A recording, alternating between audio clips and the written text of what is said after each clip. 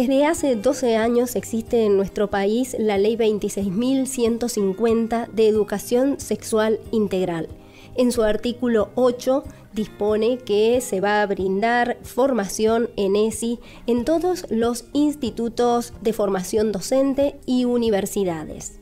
En Mendoza, solo el 15% de los mismos brindan esta capacitación en algún profesorado. En nuestro IES 9029, cumplir con la ley es prioritario. Desde el inicio del dictado del profesorado de educación primaria, estamos brindando esta formación como una unidad curricular de definición institucional que consta de cinco horas semanales. Además, hemos trabajado proyectos de investigación para conocer el grado de implementación de la ESI en las escuelas primarias públicas de Luján de Cuyo.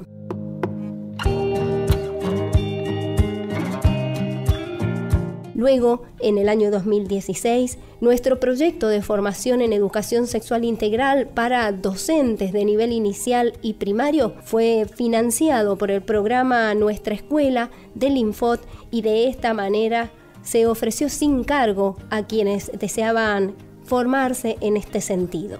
En 2017, este mismo proyecto, adaptado al nivel secundario y superior, comenzó a ofrecerse bajo resolución de la Dirección General de Escuela de la provincia y de esta manera este curso taller que consta de 13 encuentros de 4 horas cada uno llegó a más docentes de Mendoza.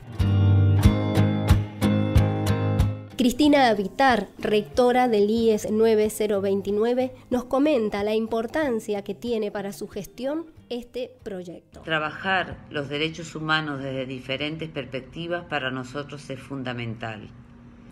Desde hace seis años, la educación sexual integral para nosotros es una prioridad, tanto en la formación continua como en la formación de nuestros estudiantes. Esto nos ha valido el reconocimiento a nivel provincial tan solo por cumplir con una ley de vital importancia.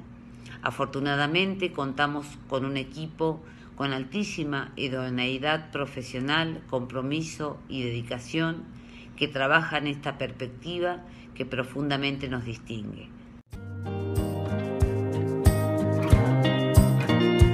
Algunos logros de esta iniciativa muestran que en total han sido formados en tres años 328 docentes de Mendoza en todos los niveles educativos y modalidades. A partir de convenios con los sindicatos docentes, SADOP y SUTE, más especialistas surgieron de este curso para garantizar el derecho de niños, niñas y adolescentes en cada escuela de la provincia donde se desempeñan.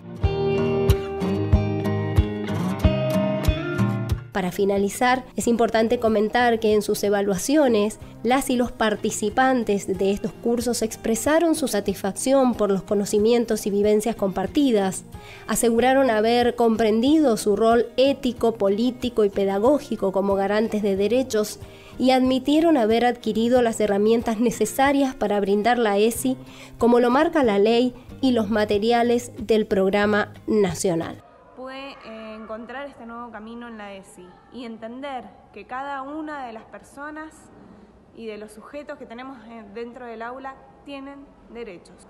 Las, los y les docentes somos garantes de derechos y tenemos que entender algo, ¿estamos de un lado o estamos del otro?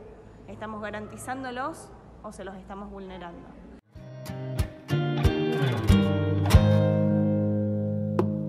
Este año vamos a seguir con nuestro trabajo brindando el curso destinado a docentes de nivel inicial, primario y formación docente de esos profesorados. Avanzaremos hacia departamentos más alejados de la provincia y propondremos el postítulo de especialización docente en educación sexual integral.